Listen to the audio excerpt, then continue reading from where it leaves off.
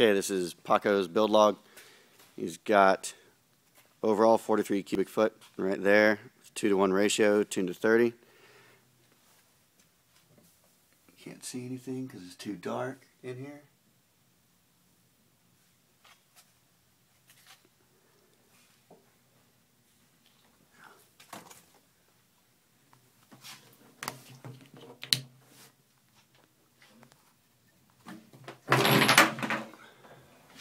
There we go.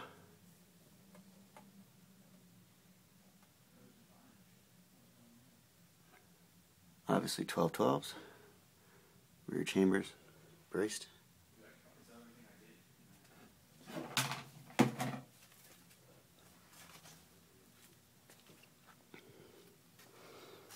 Go to the back here. See the battery bank.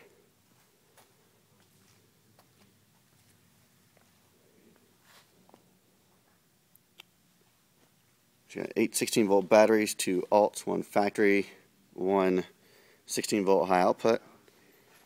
Four runs of zero gauge from the front to the back.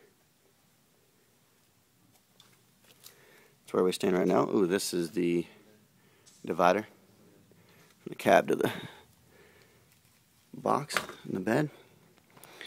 And that's where it stands right now. It's the beginning of August. We'll upload another video pretty soon.